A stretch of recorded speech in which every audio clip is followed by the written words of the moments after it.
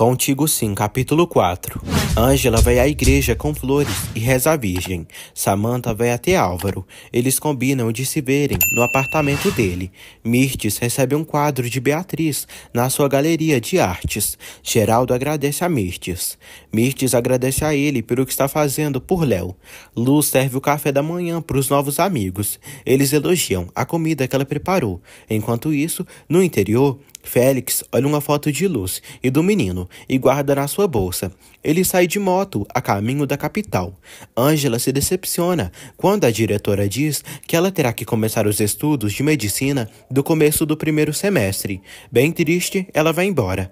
Ângela tenta se inscrever em outra faculdade, mas não consegue. O filho de Luz, um menino talentoso, Guilherme, canta num restaurante e encanta todo mundo. Ângela reencontra o menino e o vê cantando para conseguir dinheiro. Ela se lembra de quando se esbarrou na mãe dele quando chegou ao México. Um velho nojento ordena que o menino vá embora dali.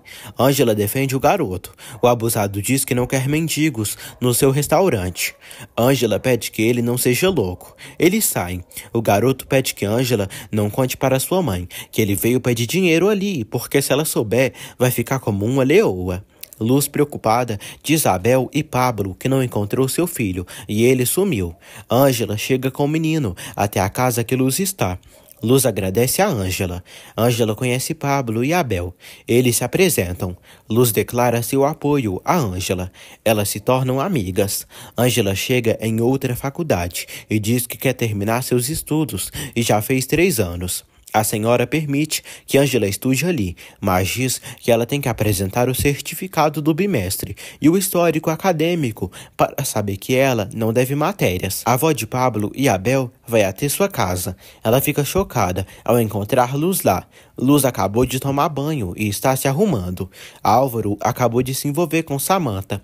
Samantha diz que quer que eles se casem o quanto antes. Angela anda pela faculdade e, por casualidade, reencontra Leonardo. Ela fica surpresa ao vê-lo ali.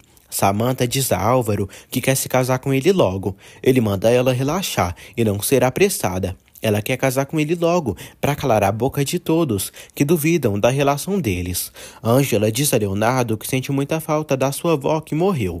Leonardo diz que sente muito. Angela diz que é seu primeiro dia na cidade e não está sendo nada fácil. Leonardo pergunta se ela vai estudar naquela faculdade. Angela diz que acha que se iludiu, porque pensou que seria fácil retomar seus estudos em medicina, mas teria que ser milionária para ser aluna dali. Álvaro se nega a casar com Samantha e diz que não tem como manter o nível de vida dela e nem sequer tem uma casa própria. Samantha diz que seu pai pode ajudá-los. Álvaro diz que não é um encostado e não quer que todos o vejam como um cafajeste. Álvaro quer saber se Samantha o ama. Ela diz que o ama e ele é tudo para ela. A atração fica forte entre eles. Álvaro diz a Samantha que não é outro dos namorados dela, que ela vai fotografar para postar nas redes sociais. Samantha diz que não vê futuro entre eles e se ele não vai levá-la a sério, é melhor terminarem. Álvaro diz que talvez realmente isso seja o melhor. Luz termina de se vestir. A senhora pergunta quem bateu nela. Luz tenta se explicar para Dona Pura. A velha pede que Luz saia da sua casa e a chama de louca. Guigo pede que a velha não insulte sua mãe. O menino diz que passaram muitos perrengues e ficaram dias sem comer. O garoto diz à velha que ela não sabe de nada. Luz pede ao filho para ir embora dali. Os dois estão saindo. Dona Pura manda eles esperarem. Leonardo diz a Ângela que aquela é uma excelente faculdade, mas realmente é cara. Ângela diz que aquela é a única faculdade que vale os três anos de medicina que ela fez em outra cidade. Leonardo diz que as provas são muito difíceis, mas que se estudar bem, ela passa. Ângela diz que deveria ter continuado trabalhando como enfermeira. Ela fala que antes de estudar medicina, se especializou em enfermagem e, com isso, pôde manter sua avó Conceição viva. Angela diz que seu sonho é se converter em médica. Leonardo diz que esse também era seu sonho e conseguiu realizar. Ela fica surpresa. Ele diz que é doutor e professor daquela universidade. Angela pede que ele a ajude. Leonardo aceita ajudá-la. Os dois se apresentam. A senhora permite que Luz e Guilherme fiquem na sua casa. Dona Pura pede que ela não dê tanta ousadia para os seus netos. Ela diz que quer decência naquela casa. Samantha fala da discussão que teve com Álvaro para Geraldo. Ela diz que Álvaro não quer se casar com ela. A piranha dramatiza. Geraldo filha que Álvaro quer trabalhar para construir seu próprio patrimônio. Samantha diz que Álvaro se sente menos ao seu lado. Geraldo diz à filha que se ele e Álvaro se amam, vão conseguir superar isto.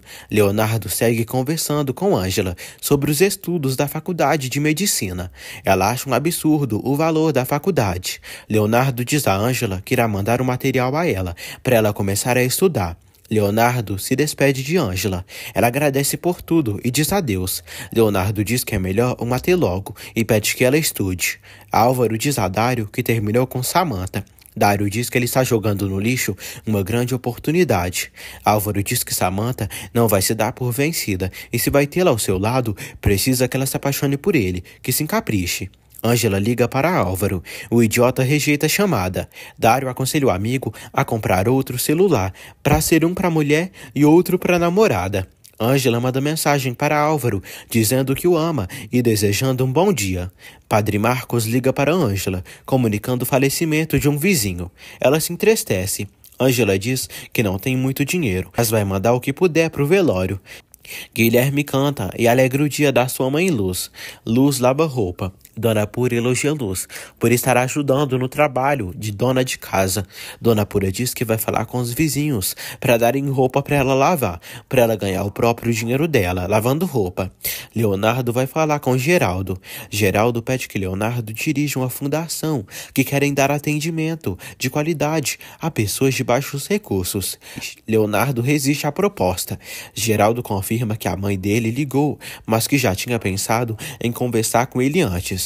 Leonardo acaba aceitando a proposta de Geraldo. Sandro conversa com uma pessoa e diz que não pode pagar essa dívida e precisa de tempo. Mirtes escuta o marido conversando e descobre as dívidas que ele tem. Ele bebe. Mirtes pergunta se ele tem algo para dizê-la. Ela diz a Sandro que se ele tem problemas, ela tem direito de saber. Sandro diz que são seus negócios e seus problemas. Mirtes diz que no álcool ele não vai encontrar nenhuma solução. Ela pergunta sobre os problemas que ele tem. Ele se irrita e grita com ela. Leonardo acaba se esbarrando em Álvaro na empresa. Ângela conversa com Luz. As duas declaram apoio uma à outra e falam sobre suas histórias. Luz diz a Ângela que seu filho teve um acidente quando era mais novo e machucou a coluna. Isso provocou muitos problemas para ele. Luz diz que seu filho precisaria fazer uma operação e reabilitação para resolver o problema, mas tudo é muito caro. Ângela pede que Luz fique tranquila e diz que Deus não irá desampará-la. Ângela diz que tem a sensação de que ela veio à capital fugindo de alguém. Luz diz que veio fugindo de um homem mau que bateu nela. Ângela diz que veio à cidade porque quer terminar seus estudos em medicina. Ela diz que estudou três anos de medicina, mas as coisas se complicaram e sua avó lhe ajudava muito, mas adoeceu e se encarregou de tudo. Mas há alguns dias a velhinha morreu. Luz diz que sente muito. Angela diz que veio se encontrar com seu esposo. Ela diz a Luz que está casada e é muito apaixonada. Álvaro compra um telefone celular baratinho, numa lojinha. Angela fala sobre Álvaro com Luz e diz que ele é o único que ela tem no mundo e é sua família e por isso veio procurá-lo. Luz pede que ela fique para almoçar, para conversarem mais. Angela diz que tem muitas coisas para fazer na pensão. Ela se despede e sai. Félix observa as duas conversando e vê o lugar que Luz está morando.